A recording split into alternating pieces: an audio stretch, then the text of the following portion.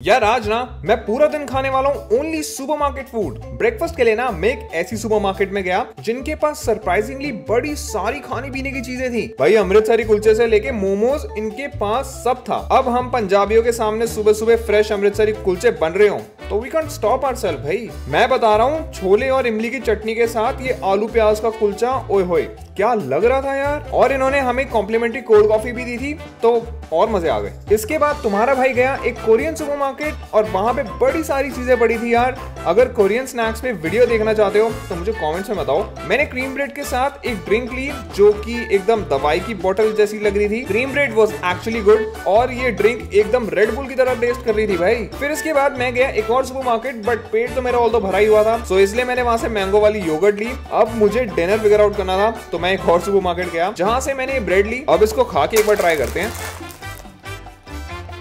Mmm.